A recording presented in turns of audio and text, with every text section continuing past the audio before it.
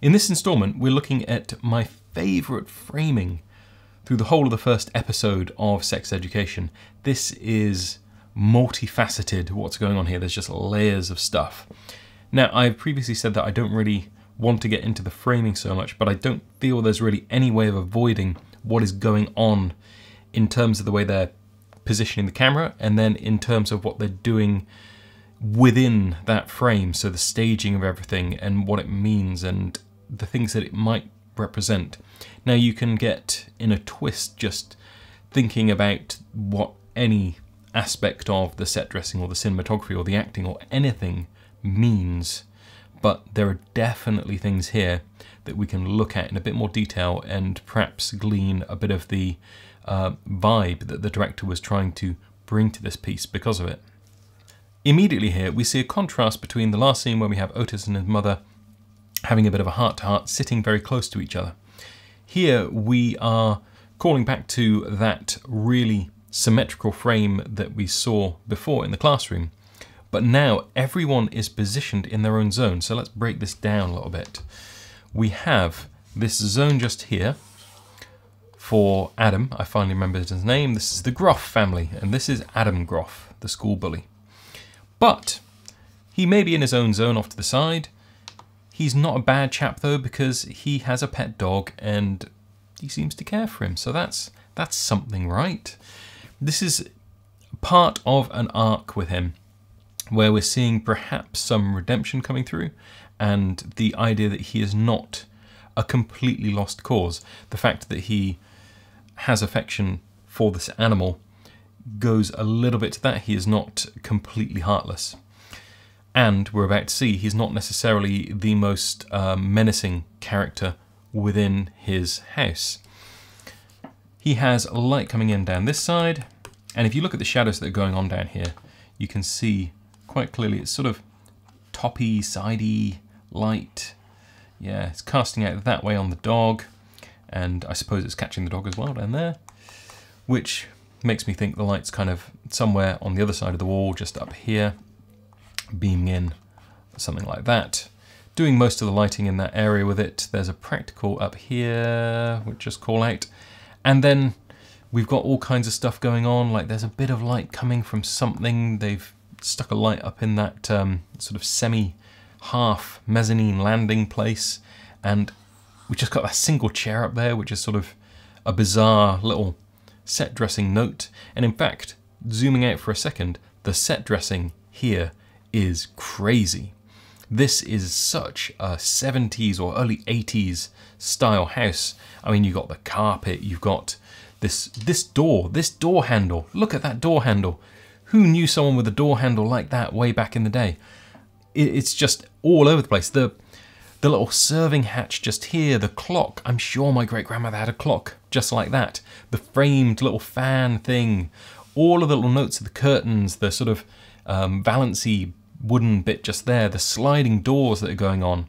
It is screaming a different era. So we've got uh, Adam over to this side, and then over this side, we have everyone else. We have the biggest frame belonging to his father, the head teacher, Mr. Groff. And then within that frame is his mother. So his mother is very much belonging to his father in this. So he's off by himself. He's got the smallest bit. He's squeezed to the side. He's very much on the periphery. His father is in this big bit of frame just here with his mother in, and his mother's in the background readying everything for dinner. And there's definitely a case for saying that this is, as well as being an interesting frame, a frame which represents the dynamic within the family. So what else do we have? Well, we've got a picture frame just here. So that picture frame is actually of his father, and his father's dressed in military outfit with some um, awards and that's the frame that we can see. That That is the only picture. There are some other things going on down here, which maybe are other family pictures and stuff, but I can't really tell. But that's the one that's prominent. And something that we can talk about with the lighting here, let's talk about a bit of lighting. We have a lampshade. And that lampshade is playing on the wall. We have light coming down here and that is actually doing an awful lot. It's casting that shadow, it's lighting up the whole area with the picture frame and stuff. But at the top, not so much. We don't have really any light spilling out of the top just here. And that's something which we're going to see a lot throughout uh, the interior night scenes. And it's something which, if you look at film and TV, you'll often see that uh, lamps cast light out below, but they don't cast it out so much above. And that's because people when they're setting these up, they don't necessarily want the light flying everywhere. So you just cap it off, and that can be done in a couple of different ways. You've always got to be careful to make it safe, so you don't want to set something on fire.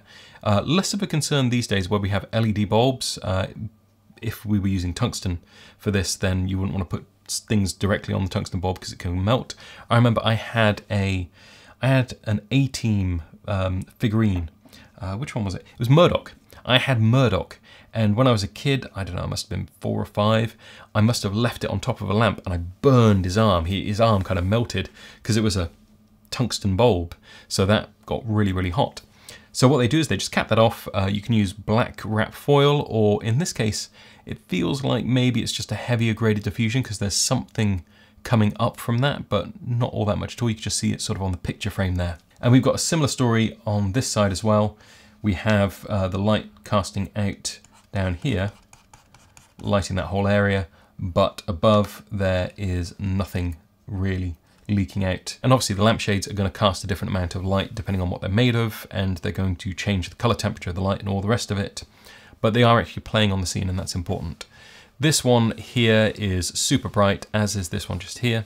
So they're playing all over the wall, and this is motivating any of the light that's on Mr. Groff just here. So apart from the frame and the obvious 70s decor, we've got a little bit of light for Adam and then quite a lot of light on this side as well to layer everything up.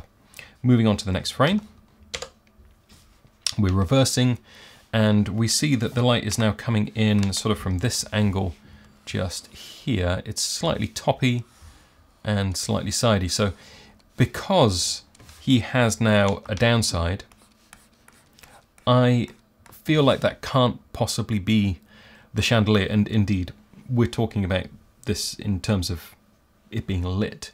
So it wouldn't be the chandelier that they would have bought something in to do this, but the motivation is now slightly off to that side, where the chandelier was more in the center, so he would be a little bit more flat lit if that was the case. In the back, this is a bit weird. We have this whole area just here, which is lit up and that's about the only thing that I don't think I can find a justification for in regards to this being like a 70s set. Because in the 70s or the 80s, and it isn't set during that time period, I appreciate, but that's the vibe we've got going on. You don't really have lights that could do that. Maybe you have um, fluorescent tubes, but having fluorescent tubes in the um, curtain rail area of your window would be an extravagance. I, I, I don't see it being a thing that would be done. Nowadays with LEDs, no problem, stick an LED strip up there, and that's probably what that is, either sort of like an LED ribbon or possibly um, some LED tubes. You could do it with Kino Flos as well, of course. And that is also happening on this side just here. That's casting down and just giving a little bit of light. It adds interest and it helps us to focus on Mr. Groff in the center. And now we see Adam is entering his frame. Now Adam is illuminated from uh, this side just here with a little bit of something which would be motivated by that um, lamp that we saw before. We had the lamp on the table and we had the uh, light fixture on the wall. If we're thinking in 360 degrees and flipping around to where he would be, that's the motivation for it. Not that we see it in this shot, but it wouldn't be that. It, it just wouldn't be that for this. It doesn't look anything like that would look, I don't think. So he has a downside here. He's catching fairly soft light from that direction, so something has been bounced into the wall or a soft box or some kind of diffusion frame is just kicking on him as he comes in. So he is very much being enclosed now within his father's frame, and he is small in the frame and his back, and his father is sitting down. I'm getting more into the philosophy. Just gonna have a sip. I recommend the Flair Espresso machine. It is awesome in lockdown. It allows me to have a wonderful, delicious coffee and I've got a little Bellman steamer as well so I can actually have like a cortado or macchiato or even a flat white if I want. Genuinely good espresso. Mm. Yes, and it's the choice of a new generation. Getting more into the philosophy of what we're seeing just here, a seated character is usually portrayed as holding all of the power. And this doesn't just fit within the realm of film and TV. If you think about um, politics, there were several examples of um, Tony Blair and I think it was George Bush at the time, where Tony Blair's talking to George Bush and Bush is sitting down, Tony Blair's standing up, and the papers had a great time just sort of poring over this and talking about how Bush had the power and Tony Blair was just sort of coming and talking to him. And I don't know, you think about uh, in films as well, like The Godfather, he's sat down there, he's got power. Um, subverted a little bit in True Romance, um, Drexl is sitting down and Clarence comes in and he's standing up. So he doesn't have the power. He's in a more powerful posture, he's ready, but the other person is so relaxed, they're just there, they're just in control. There's no question that anyone else can do anything to them. I feel like there's a bit of that going on just here. Adam is small in the frame, he's bigger in the frame, and he's sitting down. Call out to the mug. I'm going to see this again. It's got the dog on. Everyone loves the dog. No one loves Adam. It's just a subtle thing of like that the, the dog is more important than his child. So apart from that, I don't really think I want to call anything else out just here. We do have a modern TV actually in the background. That's a flat panel TV. In fact, the only bit of modern tech that we see outside of phones within this. Next frame. I think this is my favourite frame throughout this whole sequence. There's so much to call out. I'm just going to geek for a minute on the, the retro that is going on here. So check it out. Look at the cups. Look at the tea towel. Look at how she's dressed. She's dressed in just shades of reddy brown. It's just all. Look at this. Look at this sort of kettle water heater thing. Look at that tray. I I sure my grandmother had that tray. I I'm absolutely positive we had that tray. Got this tabletop just here with all that uh, vinyl sort of over it. You know you know this. You you've seen this before. Of course, we do have the dog again in little picture frame just here. Yay, dog, most important thing. Pops of colour, we've got a little bit yellow, got a little purple. Not much colour in this, so it is worth calling out when it happens. And these curtains, my goodness. I recognise those curtains. I know that people had curtains like that when I was growing up. And especially in kitchens, actually, bizarrely, that is such such a accurate portrayal of that. And then in the back here, we've got this mixer, such a retro looking mixer, and the tiles, and it's a really faithful recreation of um, that that aesthetic. This door handle again, look at that door handle. So what do I call out in terms of lighting here? Well, she's obviously being hit by something. We've got uh, this going on. So it is directional, is a little bit uh, toppy. And I would say that uh, actually that light is coming from somewhere up here, obviously on the other side of the wall. And you could do this uh, kind of like I'm being lit now. I've got all kinds of madness going on behind me, but I've got a 60 by 60 softbox up there. So if we were in this scenario and we just stuck that right up in the corner, edged her in with that, maybe put a grid on it, although I'm going to say no to the grid actually because where we have uh, all of this stuff down here, we actually do see there are shadows being cast out this way from everything that she's placing down just there. So I feel like that wouldn't necessarily catch so much if she had a grid. If she had a grid on the light. But it's doing a good job on her.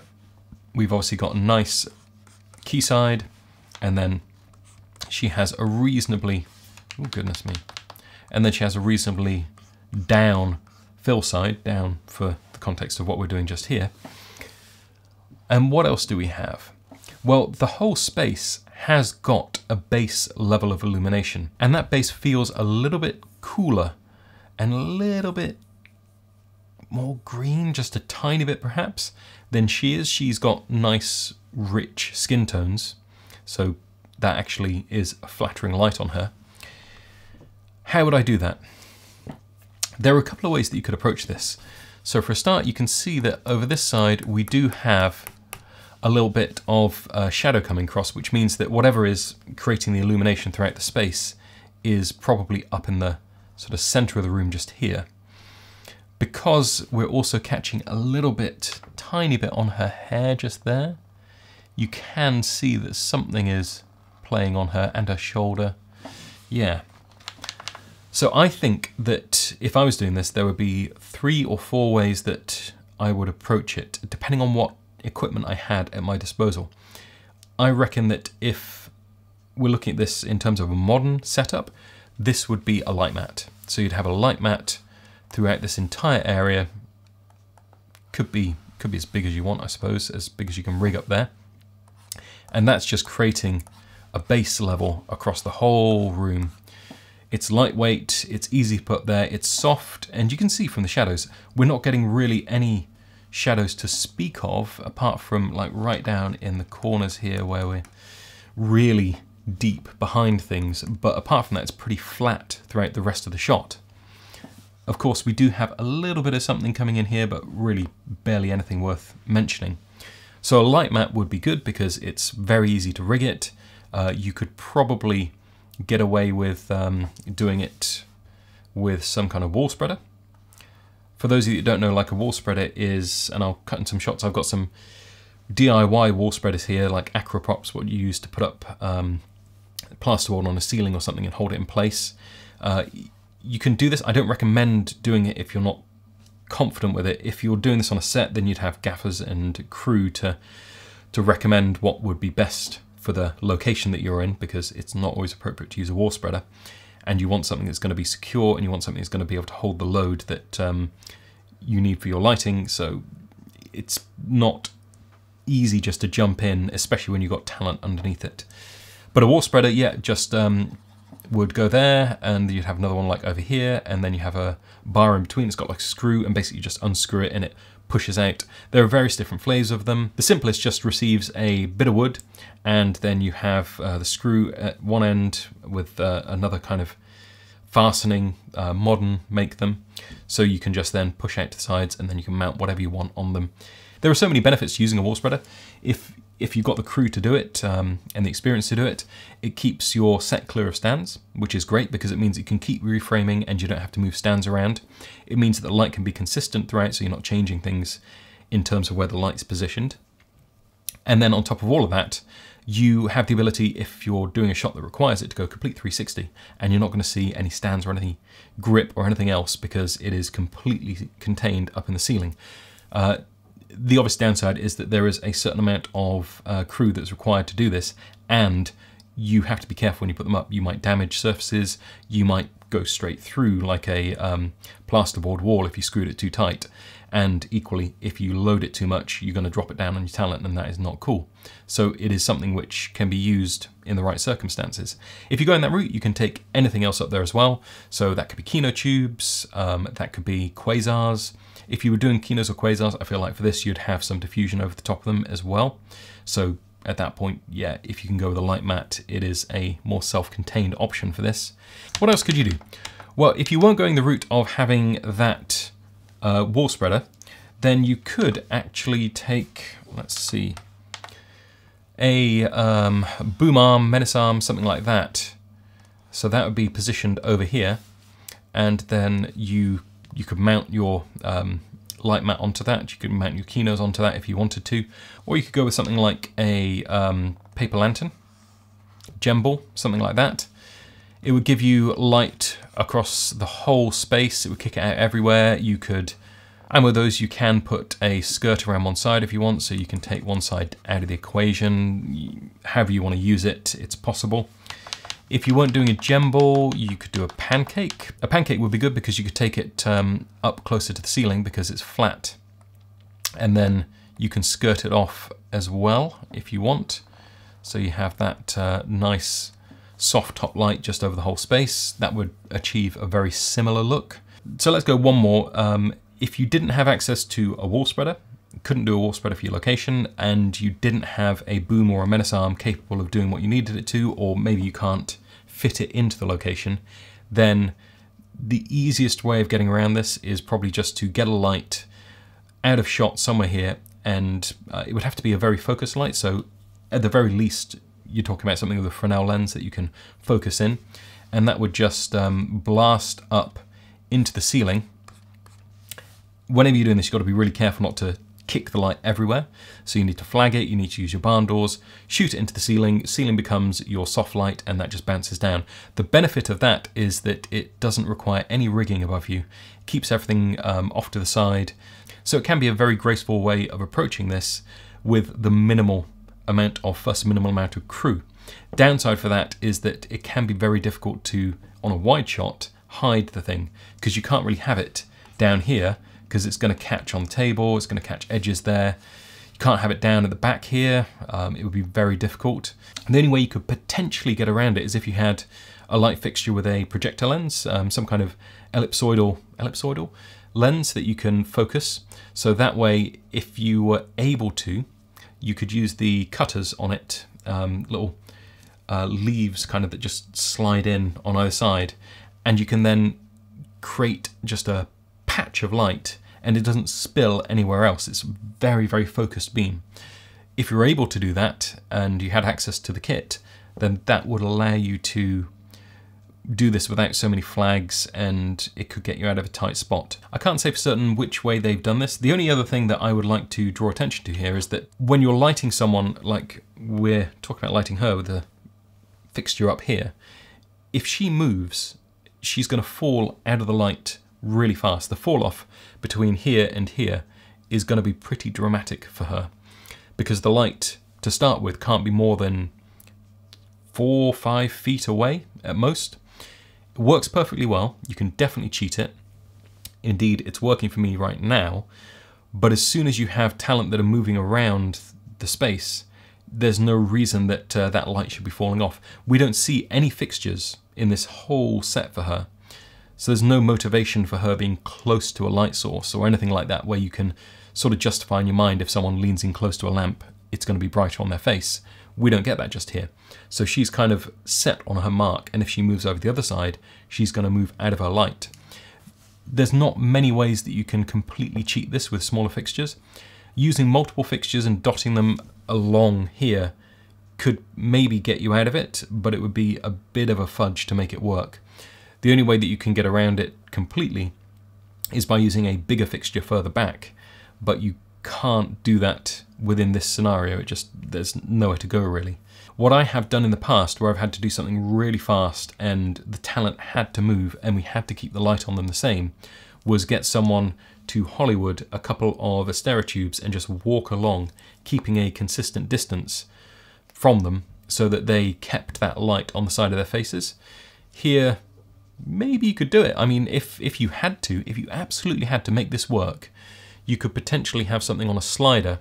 I would really want to grid it down if I was doing that. This is a bizarre scenario, but you could have the light on a slider, grid it down, and then you could have it um, tracking cross, so maybe four foot as she moves this way.